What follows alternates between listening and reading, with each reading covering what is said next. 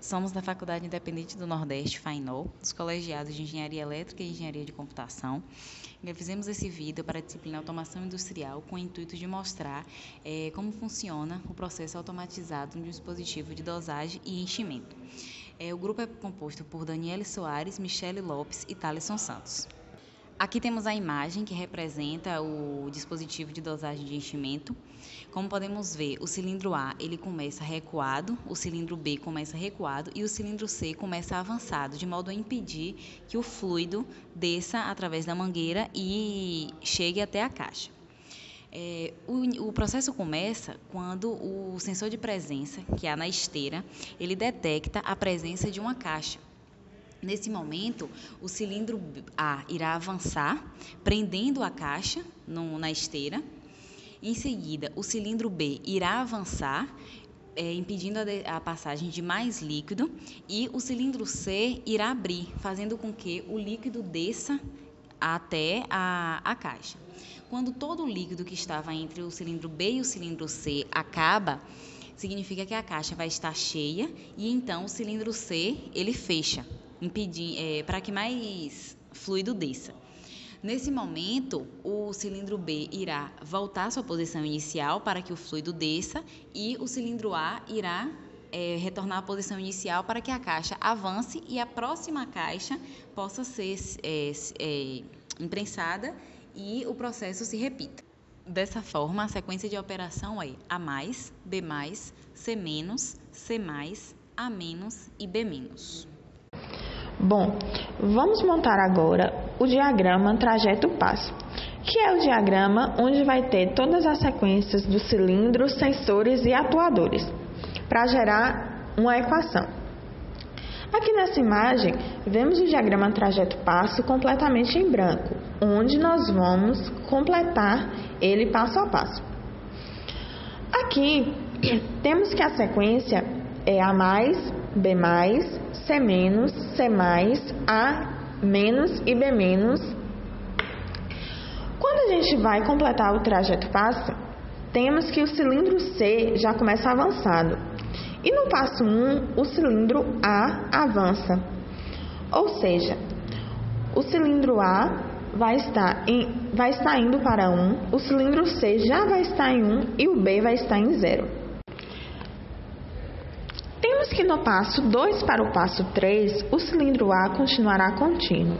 O B irá avançar, pois é nessa parte que vai haver a transição do B- para o B+, e o cilindro C continuará contínuo. Na parte 3 para o 4, o cilindro A continuará contínuo, o B contínuo e o C virará o C-, porque ele era C+.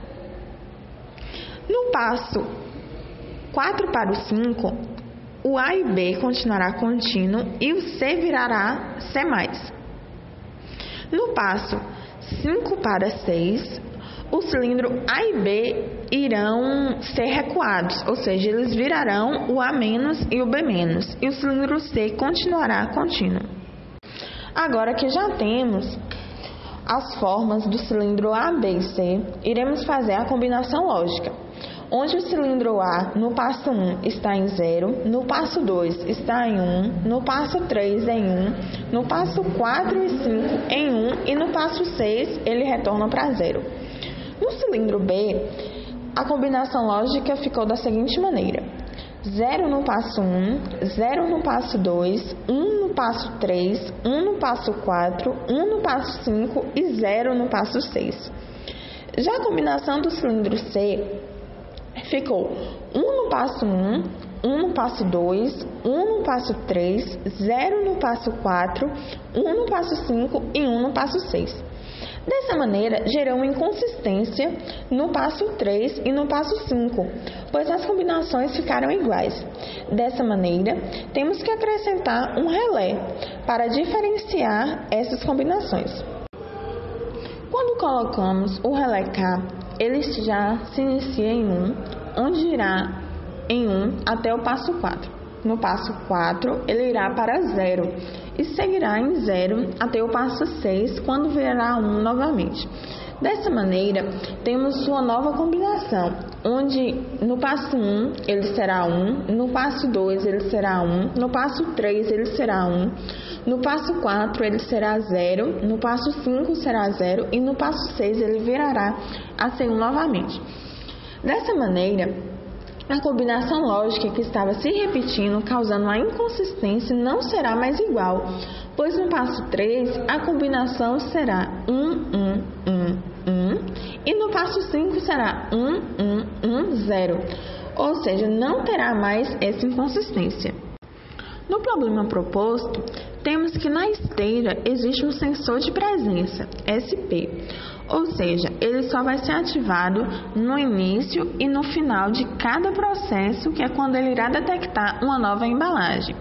Sendo assim, ele só irá estar ativo no passo 1 e no passo 6. Continuando, no passo A1, teremos que olhar onde o cilindro A está em 1 e assim desenharemos no trajeto passo onde ele se inicia e até onde ele termina. Dessa maneira, continuaremos onde o cilindro A está em zero. A gente não conta o período de transição, e sim o período que ele já se torna zero ou já se torna um. O cilindro B, da mesma maneira, visualizaremos onde ele já está em 1 e marcaremos no diagrama de trajeto passo.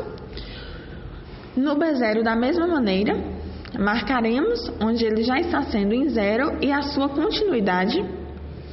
No passo C, veremos onde ele está em 1, que no, nesse caso é a maior parte do período. No C0, da mesma maneira, só o único ponto onde ele já é zero. E aqui a gente também tem que fazer o, o, os sensores CAS, que são o KNA e o KNF. O KNA é quando o relé está em 1. Aí demarcaremos quando todo o período onde ele está em 1 e o KNF todo o período onde ele está em 0. Agora na parte de montar os atuadores, que são os responsáveis pela atuação no cilindro, teremos que o a mais começará no passo 1 e irá ao passo 5 pois no atuador leva em consideração o período de transição, que nesse caso é diferente dos sensores. Então, ele será a mais do passo 1 ao 5, a menos no passo 5 ao 6, o B mais da mesma maneira. Então, o B mais será do passo 2 ao 5 e B menos do passo 5 ao 6 e do 1 ao 2. O C+, irá do passo 4 ao 6 e do 1 ao 3. E o C- do passo 3 ao passo 4. O K+, da mesma maneira que o KNA, é a parte quando ele está em 1, ou seja, irá do passo 1 ao passo 4 e o K- do passo 4 ao passo 6.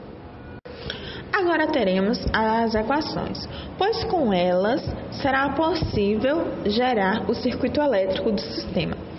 Quando vamos fazer as equações, teremos que observar qual o sensor é de menor continuidade e sempre pegaremos o menor. E quando o atuador for menor que o sensor, faremos uma operação END com os Ks a fim de ficar da mesma forma.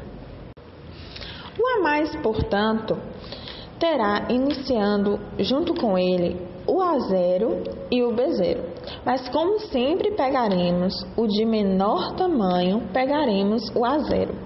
Como o A mais é o primeiro que está sendo elevado a 1, ou seja, é o primeiro que vai se iniciar, a equação de jamais vai ser A0S, que essa é a chave que vai ligar o sistema. Para a gente fazer o A menos, iremos observar da mesma maneira que começa junto com o A menos. Teremos que é o C1. Porém, o atuador A menos é menor do que o sensor C1. Neste caso, faremos uma operação IND com o K que está no mesmo passo que ele. Dessa maneira, o A- ficará C1KNF.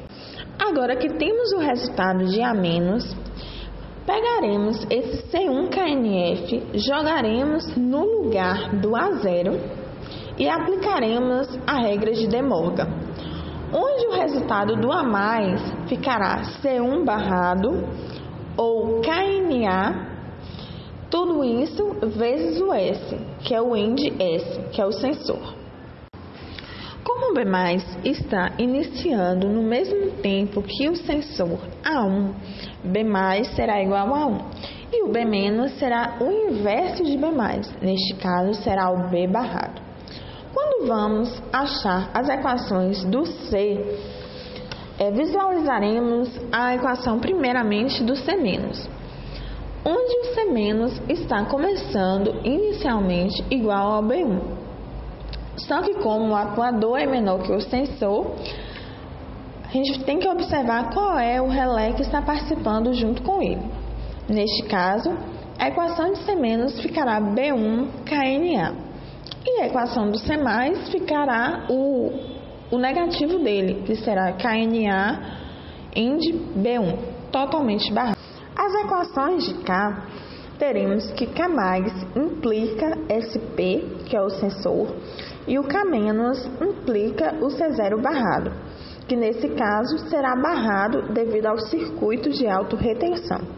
Vamos montar agora o circuito elétrico de comando com as equações obtidas anteriormente.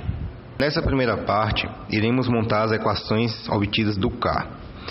O primeiro, que é o C0, será uma chave de rolete normalmente fechada, seguindo do SP, que é nosso sensor de presença, que é uma chave de rolete normalmente aberta, e o K, que é uma chave de contato, também aberta. Agora vamos montar o circuito elétrico de A. Começamos com S, que é nossa chave de retenção. Clicando nele é que vai iniciar o, todo o processo do circuito. É, seguindo, vai ter C1, que é uma chave de rolete fechada, em, em, paralelo com K, mais uma vez, que é uma chave de contato aberta, e embaixo vai ter a solenoide A. Continuando com o circuito é, de B, ele inicia com A1, que é uma chave de rolete normalmente aberta, e enfim, o a solenoide do B, lá embaixo. E por fim, temos o circuito elétrico de C, que começa com a chave de contato de K, vem para a chave de rolete normalmente aberta de B1 e embaixo a solenoide de C. Agora, vamos falar sobre o sistema pneumático. O triângulo na ponta é o compressor, Logo em seguida dele, temos a unidade de conservação do ar, que deve ser regulada entre 4 a 6 bar. A unidade de conservação está ligada à válvula 4/2, que ela está tendo um avanço por solenoide e o retorno por mola, devido às equações ditas anteriormente.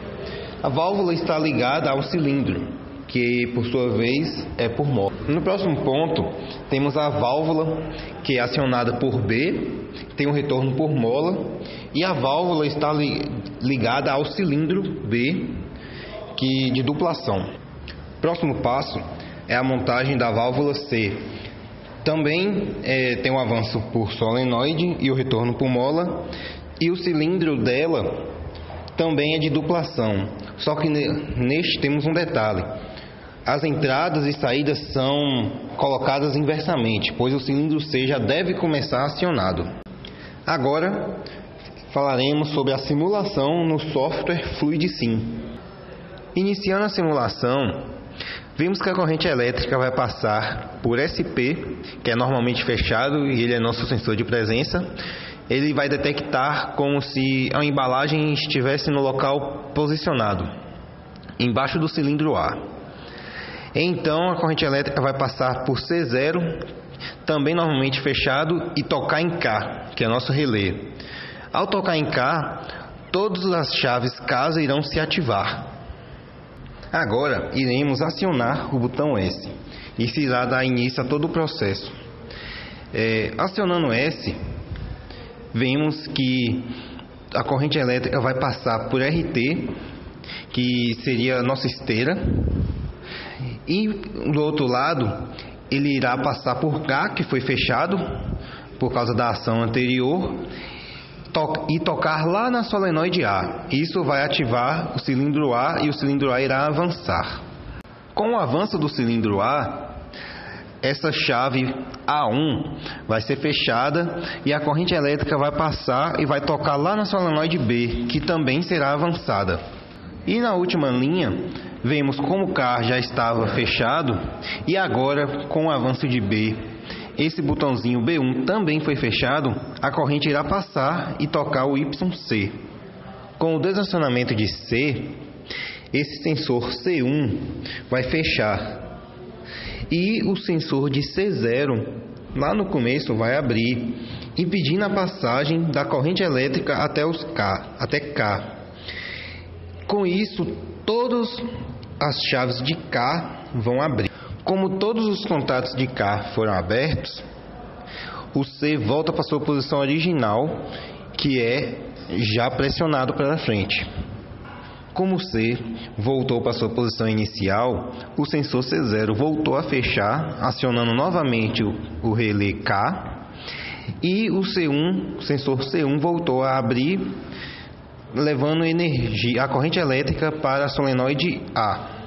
Agora iremos mostrar como foi a simulação realizada na bancada da Festo. Temos aqui as imagens que representam o passo a passo da montagem. A primeira imagem nós temos ah, os componentes na bancada. Em sequência, fizemos a ligação do compressor até a entrada das válvulas. Em seguida, da saída das válvulas, ligamos em um regulador de velocidade do ar e a partir dele ligamos nos cilindros. Após a montagem da parte pneumática, montamos a parte elétrica e demos início ao circuito, como pode ser visto no vídeo em sequência: A+, B+, C-, C+, a- e B-.